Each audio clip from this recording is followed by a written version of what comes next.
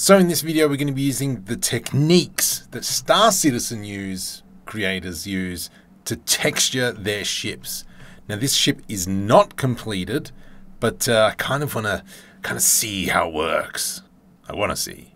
So this is from Sunday night stream. This is what we've created so far. Pretty happy with how this turned out. Probably on this week's stream, we'll be working on the interior and adding more details and such through here. I think there's a bit more that we can add, so we will focus on that. But but ultimately, it does look not too bad. I do want to throw a texture on it, like I said at the start. So I have been creating some um, materials, which we'll probably put up on Patreon in the next day or two. So just going into the asset browser, click and drag, we're going to put a material on there, and you can now disappear. So this is the material not too bad, um, but we're going to spend most of our time in UV editing. So with our object selected, now we're going to go through quite a few techniques on UV and, and we're going to go through quite a few techniques on UV unwrapping. So get your pencils out and give me a like and subscribe. Also, let me know which ones you already knew about. Going to just bring up a the roughness just so I can kind of see what I'm doing. Now, because I was testing this, I know that uh, there was a few issues with the mesh, but that's okay, we'll sort that out. So the first one that I want to deal with is I want to get this plate here straight. So let's go U, unwrap. Now, if we look at this over here on the left-hand side, you can see that it's a really yuck shape. Kind of want it straight. How do we do it? Easy. Let's scale these along the x-axis, and then we'll scale this one along the y-axis. There we go. Scale y. With this face selected, we're going to select everything, right-click, follow active quads because that's our square. It's going to kind of like try and stay in line. And so now when we move over, let me just come over into material mode. We can scale this up and um, let's put it in here because I think it'll fit there a lot better. And so I'm just trying to line it up nice. And then you can see how now we've got this nice UV unwrap of this mesh. Now we can come down to this bottom section and we can do the exact same thing. U, unwrap. Let's pick the end piece, scale X, scale X, scale Y, and scale Y. Select everything, right click, follow active quads. And then we can come down to this side and scale it like so. And now without too much work, we've got this nice little bit of edge wear. We've got panels cut in, awesome. Now this isn't the color that I really want. So if we go into shading, the way I've designed it is there actually is no diffuse color. I mean, we can plug it in. So this is the diffuse color. Eh. so we might just change it down to maybe like a darker gray. And then that makes it all pop a little bit more. If we go into rendered view, let's have a look what that looks like. Nice. Nice. Love it grand. Back into UV editing. So we've done this side, this side. I'm just going to press hide. Let's just get rid of it so we don't see it anymore. Um, we'll do this section while we're here. U, unwrap. Where are we? Right there. So we don't have to rescale that one, which is awesome. And then we can line this one up as well. This one doesn't need to be as neat because it's along the inside. Cool beans. Let's hide that. I'm going to select all this U, and I'm going to project from view. So from this view, this is what it's going to look like. Awesome. Let's now scale that up. How are we going to do this? Let's make sure, yeah, let's go like that, I reckon. Just something like so. And then you can see how, yeah, I'm not a fan of that. So maybe we can bring it in a bit and just line it back up just so it sits on the edge. Awesome, great.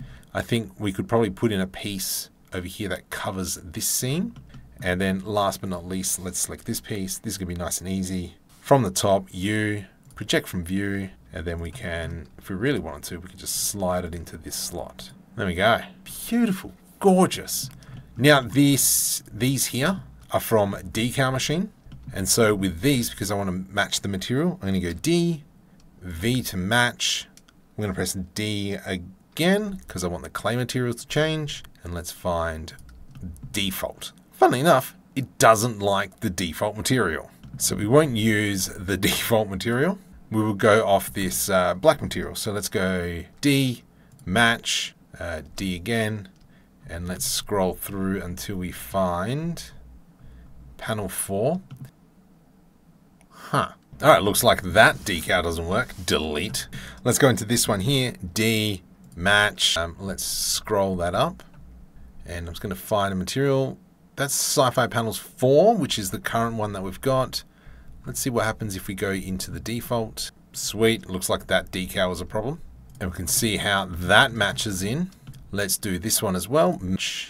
And so these work really nice because they're a small piece of the puzzle rather than a giant panel, which is kind of like, mm, doesn't really work too well. Um, let's try these ones here. Might just set them as default. I know you're a problem, so we'll get rid of those panels. And obviously, if you've been following the videos on normally on a Friday night, you will know that Star Citizen are very decal heavy. So I wouldn't mind adding some more decals through here. Oh, hello. Just change this one real quick.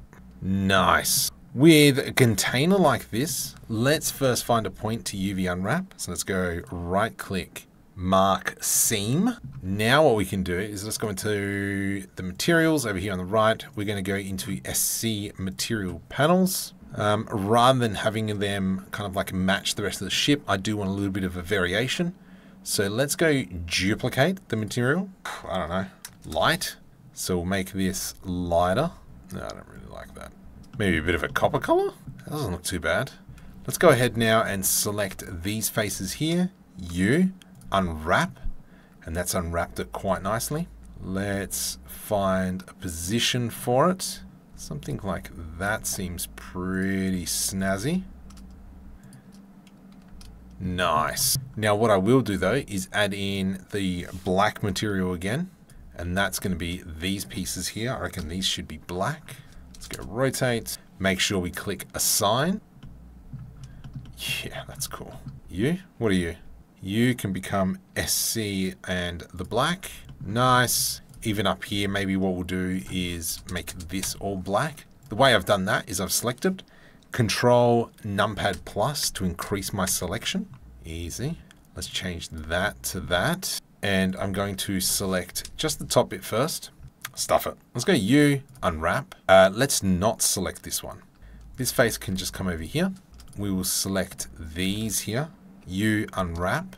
And then this is where we can do our trick from before. Scale Y0, scale Y0, scale X0, scale X0.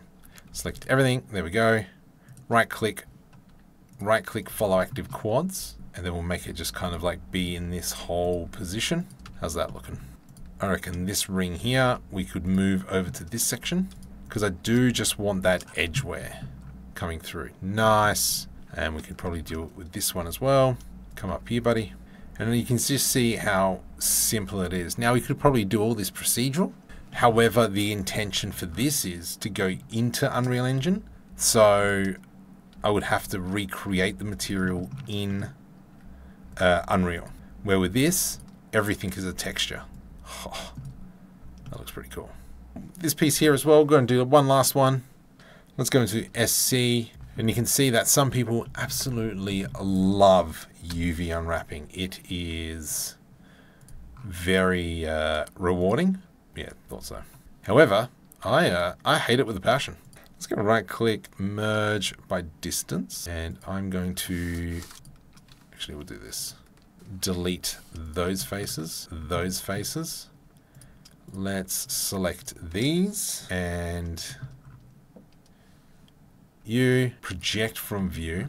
Now let's just make sure that these are all scale, scale x0 and we'll go scale x0, scale x0. From here we'll select all that, control A, right click follow active quads, so we've got to do it for each one. Lovely. And now I'm just going to line them up just along that edge there. Nice and easy. Off-centering them as well so they don't actually match up. Technically, we should probably make each edge here to be lining up on uh, the corner section. But uh, I'm going to live. Let's select that and that. You unwrap. And then we kind of have this exact same thing here. It's been a very repetitive video. I know that. Um, but I just want to show you the process of how I believe, and I'm pretty sure this is the way that Star Citizen guys are doing it. They're obviously layering their work a bit more as well. Let's do that. Hide, unwrap. What are we looking at? Ah, whatever, looks fine to me.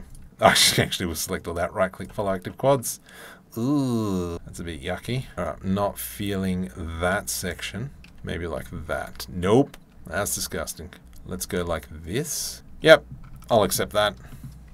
I missed a piece. You donkey. Which is fine. Let's just go U, unwrap, scale, and then we can just line it up like that. Easy. Let's maybe put that as our red. Very repetitive video, I know, but it's just more, I wanted to show you what is actually possible with all this.